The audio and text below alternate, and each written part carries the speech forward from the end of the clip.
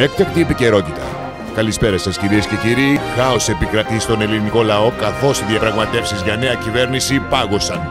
Ωστόσο, δεν κάνει κρύο στην Ελλάδα. Συγγνώμη, ε, μόλις με ειδοποιούν από το κοντρόλ ότι δεν κάνει τρίο στην Ελλάδα.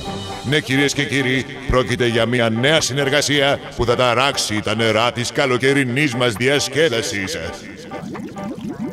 Μια κεφάτη συνεργασία με πολύ τραγούδι και άφθονο χορό με τον Παναγιώτη Δόβα και τους Εναλλάξ Band.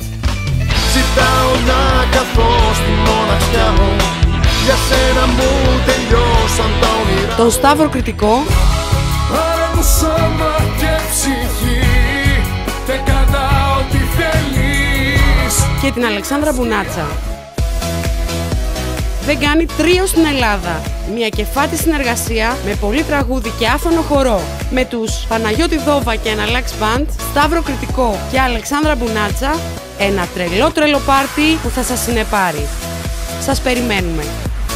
Χορογραφίες Κατερίνα Κοτρίδου.